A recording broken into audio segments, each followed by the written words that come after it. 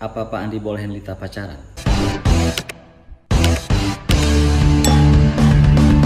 The question is now whether or not Lita has pacar, right?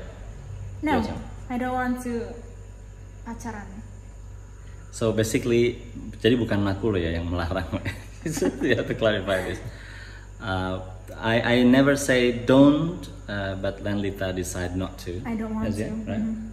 Maybe as yet, so it's all good. Apakah Lita terbuka soal kisah asmara ala ABG remaja kepada ayah? Oke. Kalau kalau kalau mau terbuka sih terbuka aja ya. Tapi nggak ada masalahnya. Okay, so no pacar at the moment, uh, no crush. Yeah, you have No, a I crush don't have crush at the moment. at the moment. No. Oh, you did right once. I mean, Once, once. Ya, ya saya tahu Lita pernah naksir-naksir orang dan segala macam. It's alright. She just told me. Maybe not as detailed as what she would say to ibu. I, Yeah, I I pour it into my writing, I guess. Oh, I project right. myself as a character in my writing. Okay, Lita is also a good author. So yeah, A good author. yes you are. Bagaimana pendapat anda? Waduh, ini serius nih. Oh my god. Apabila putri anda memiliki pasangan yang beda keyakinan. Well, the joke is that kalau beda keyakinan nggak bisa. Misalnya, cowoknya yakin mau, Lita yakin nggak mau.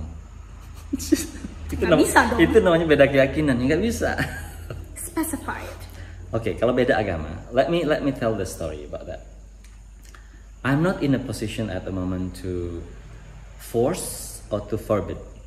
Um, You you can clarify uh, about punya pacar atau pasangan yang beda agama atau itu. I'm not in a position to force Lita to do this or that. Tapi I give Lita my view about religion, for example. Of course, kita itu percaya soalnya religion itu like very personal. Tapi ada a lot of different aspects on the religion, like social aspects, right? Relasi dengan orang tua, relasi dengan adat, relasi dengan masyarakat. That's also part of the religion. Also, if you agree with me, itu yang saya kasih tahu Lita. Jadi kalau misalnya beda nih, you have to understand the consequences right? That's what I usually tell you, right? Uh, the, like the, the social consequence of it. Kalau soal consequence religiusnya sih kita nggak tahu sama Tuhan kok. You know, kita juga nggak tahu Tuhan akan marah apa enggak atau gimana. Kita sih belum pernah ketemu soalnya sama beliau. Maksudnya ketemu ini ya. Sorry, this is, this is part partly joke, but I think we are quite serious about that. Jadi Uh, not really. Tapi I told Lita the consequence of that, the complexity, if it is different. Terutama kalau kita hidup di Indonesia. Terakhir kalau boleh. This is a very honest and blunt comment from a conventional father. Bali. Ya kalau bisa agamanya sama ya tentu Dari akan. Bali. Uh, I don't remember I said it Bali. Oh, Bali is bonus ya. Nah, nih, you did say nyarinya orang Bali ya ta, yang seiman.